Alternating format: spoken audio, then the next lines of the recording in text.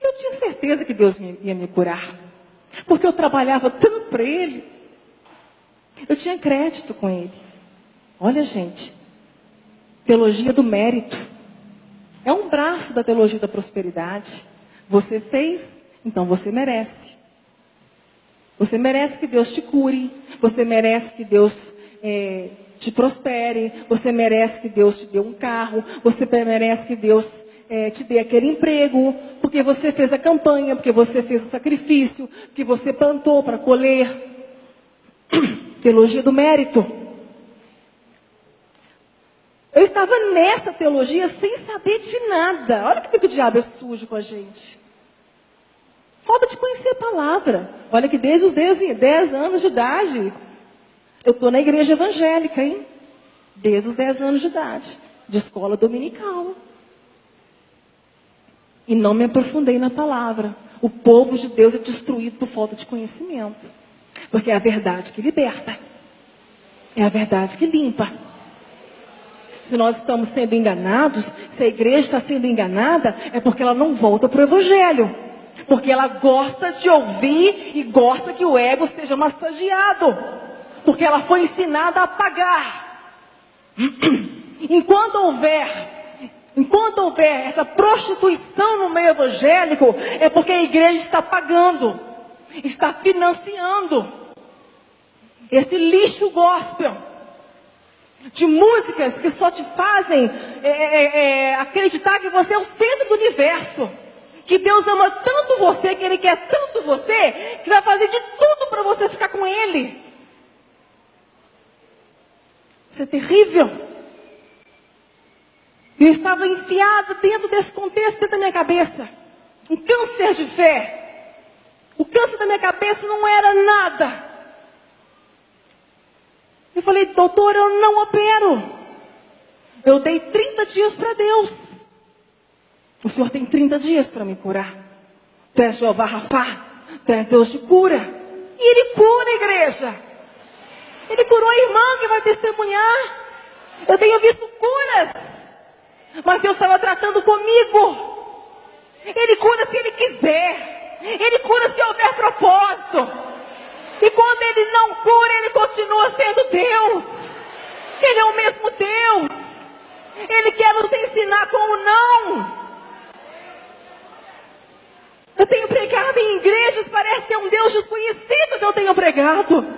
Não é este Deus que a igreja quer servir hoje. Coisa triste. Os 30 dias se passaram. Eu fiz os sacrifícios. Eu jejuei. Eu orei. Eu madruguei. Eu chorei. Na época eu gostava muito do Diante do Trono. Curtia muito André Valadão. E ele estava lançando o DVD dele Milagres. Eu falei, gente, é Deus purinho nisso. Olha, crente é assim, né? Tudo ele acha que é Jesus tendência. Não é coincidência. Aí eu cantava, hoje o meu milagre vai chegar. Mas às vezes o meu milagre não é o milagre que Deus tem para mim. Mas essas músicas te levam a crer que é o seu milagre, é o que você quer que Ele vai fazer. Não é assim, igreja. Não é assim. Eu fui confiante com a cura. A ressonância ficou pronta na mesma hora. O médico que fez há 30 dias antes olhou para mim, Maristela, o que, é que você está fazendo aqui? O doutor Jair está te esperando para a cirurgia. Não, doutor, não preocupa não. Essa, essa ressonância que você vai fazer agora está diferente. Não tem nada nela mais. Que fé, né? Na fé. Fé na fé. Eu descobri que eu não tinha fé verdadeira, genuína. Sabe o que é fé, igreja? Fé não é acreditar que Deus vai fazer aquilo que você quer. Fé é você conhecer o Deus a quem você serve. E descansar que Ele vai fazer aquilo que Ele tem preparado para a tua vida. Mesmo que seja o que você não queira. Amém?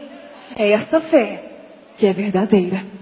E essa fé só é forjada, sabe aonde? no fogo, nos desertos, nos vales.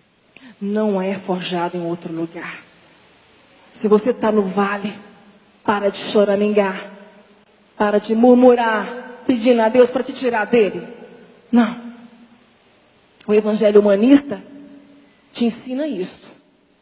Hoje a tua vitória chega. Hoje o teu milagre chega. Os pregadores humanistas, eles pregam assim. O evangelho ele te ensina outra coisa. Se você ouvir e obedecer a voz do Senhor, todas as bênçãos te alcançarão. Todas as bênçãos te alcançarão. Quais as bênçãos? Ele sabe quais. Não são as suas. Não é a tua agenda que ele vai seguir. É o que ele tem para você. Aquilo que a José leu. Todas as coisas cooperam para o bem daqueles que amam a Deus, que foram chamados segundo o teu propósito. Coopera para o quê? Para que você consiga o que você quer? Porque é isto que a, que a igreja moderna ensina. Mas o texto continua. Compara para que você chegue à imagem do Filho de Deus.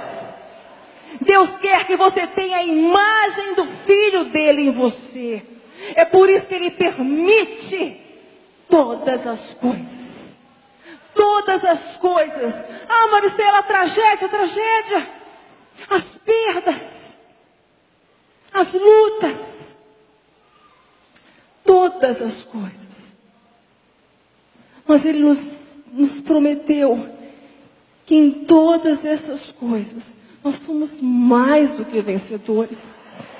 Não é sem essas coisas. Ele nos ensinou a andar sobre as águas e entender que em todas essas coisas nós somos mais do que vencedores. Isso é fé. Você não pode ter fé se você não conhece Deus. Você não tem como conhecer Deus se você não andar com Ele. Não há conhecimento de Deus sem intimidade com Ele pela palavra através da palavra.